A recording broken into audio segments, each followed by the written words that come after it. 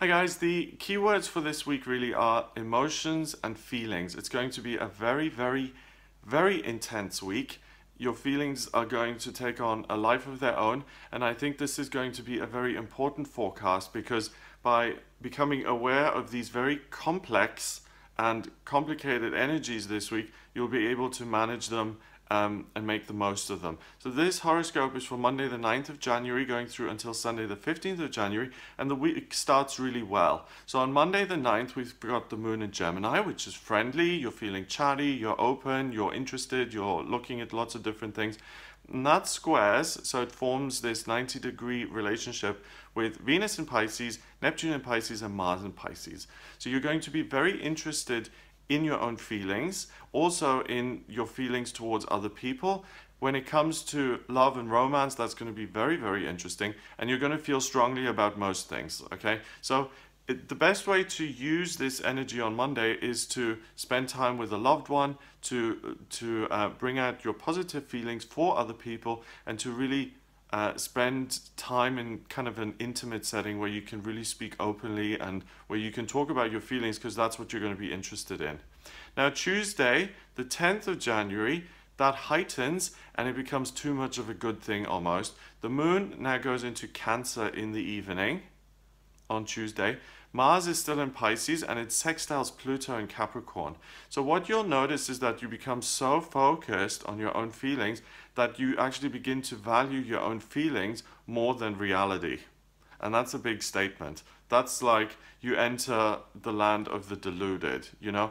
I I feel a certain way, but my real life doesn't reflect that and has nothing to do with the way I feel. So rather than adjust and kind of face the facts, I'm going to put a bubble around myself and go inward and just focus on my own feelings. It's denial, it's uh, living in a fantasy world, and it's really losing touch with reality a little bit. Okay, so Tuesday is a terrible day to make actual practical decisions. What you're really, what we're going through this week, and that's why I kind of prefaced the um, forecast so ominously, is that we're really taking the focus and we're going inward and we're really diving deep. And it's almost like our feelings kind of are a wave that we just have to ride a little bit this week.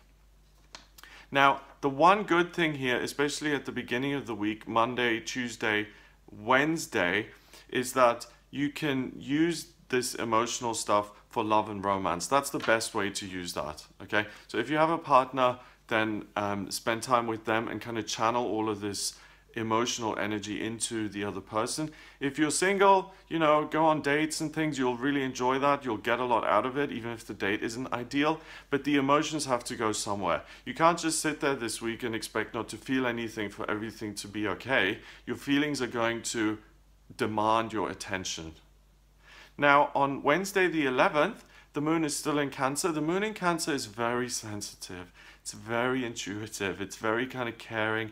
It's very nurturing, and it's very.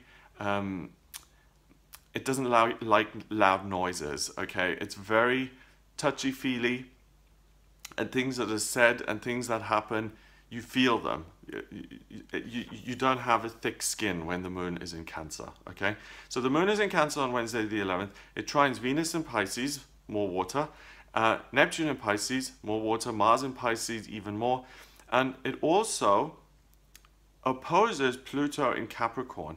So what we've got here is all of this water and all of this focus on the emotions. I mean, we've got four of the most important planets here that have to do with the way you feel sitting in water signs. So it's almost like you're swimming in a lake of feelings. So love and romance again are highlighted, but there may be reluctance and even uncertainty or conflict or fear when it comes to taking action now. So you feel almost um, so immersed in your own feeling world that you can't get out of it and that you can't do anything practical about it. You feel almost locked in. So there's going to be uncertainty and fear around change. Your feelings on this day, they aren't something that liberate you and say, you know, sometimes, for instance, you can become so elated and excited about something that something that was a, a risk or an uncertainty in the past, you no longer care about the risks. You're so elated, you're just saying, okay, I'll do it, whatever, I'm just going to do it, I feel good about it.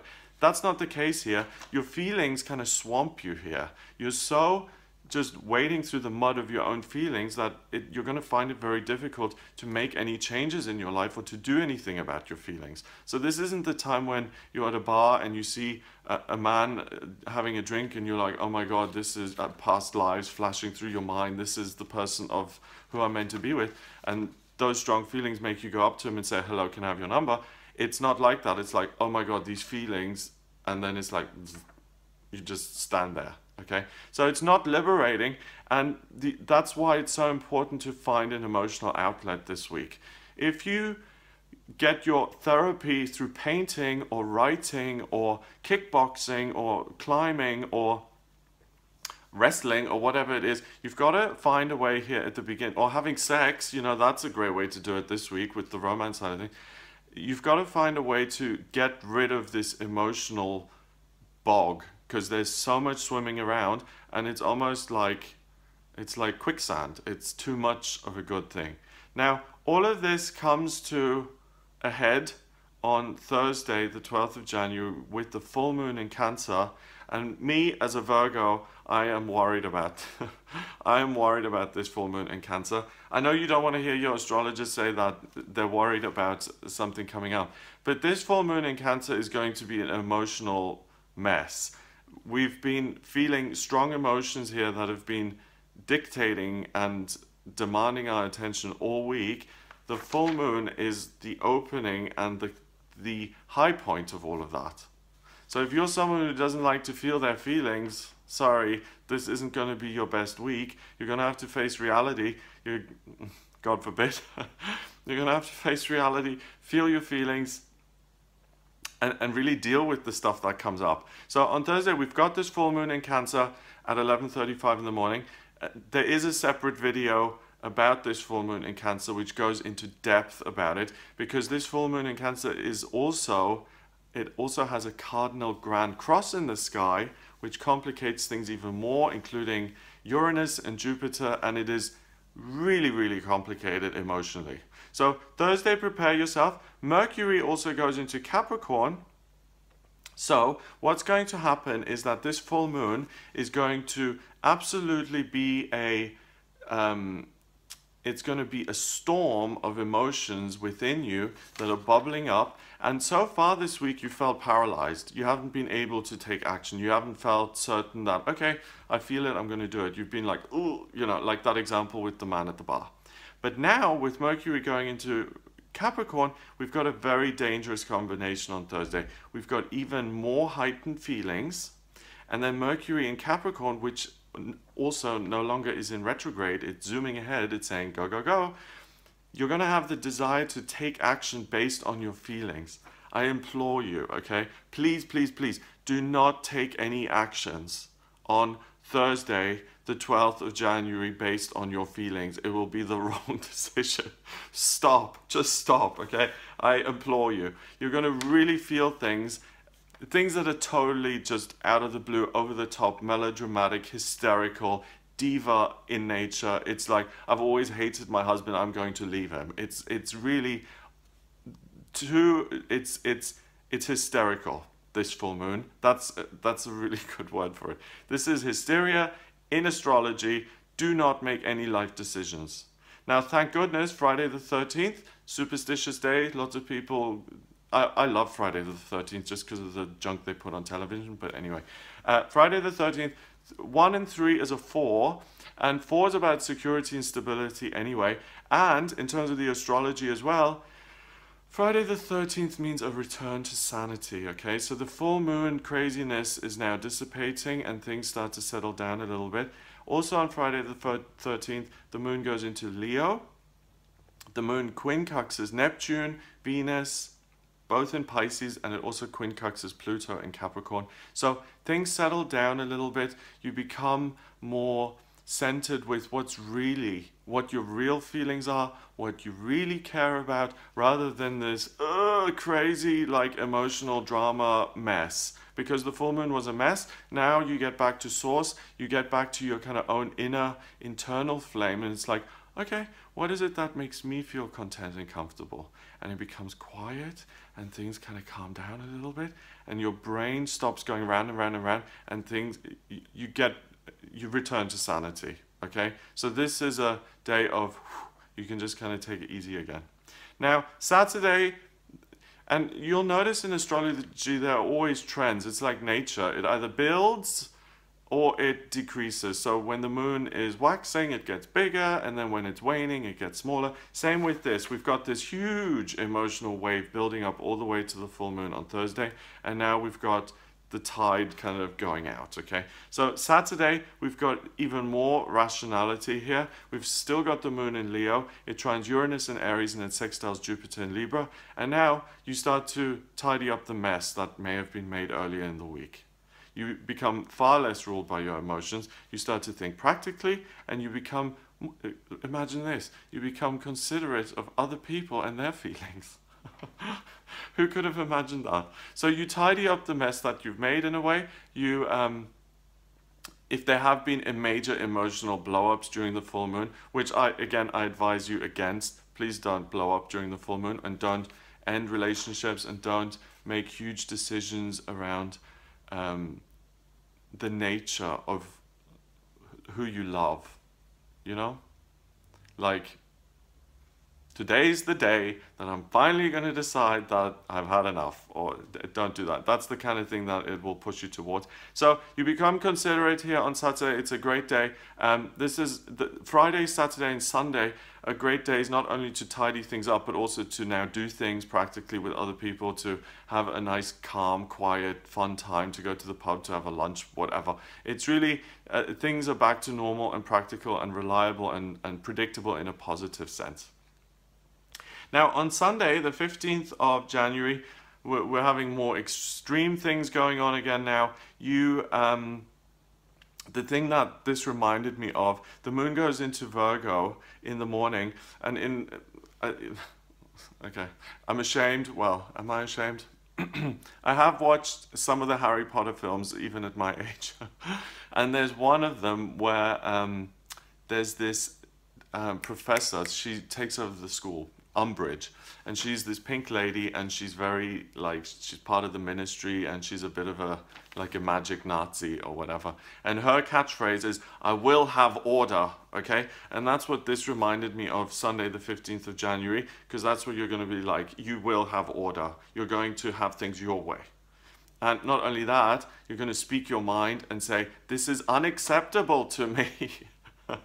do it differently. So, and the reason for that is the moon is now in Virgo, but not only that, it opposes Neptune and Venus in Pisces and it trines Mercury in Capricorn. So all of this week, we've had this emotional um, fiasco, okay? It's just been all over the place. And now, think of Virgo and Mercury in Capricorn as the head mistress and her little assistant, her her PA, and they're stepping into the scene and they're saying, okay, kids, enough playtime. We've had enough of the BS. We're getting back down to work, and we're not ha- we're not putting up with the with the dramatics anymore. We don't want to have them. We don't want to hear them. They're noisy. They don't achieve anything, and they create a lot of mess. Okay, so on Sunday is really the best day for you to organize your life for things to go back to normal.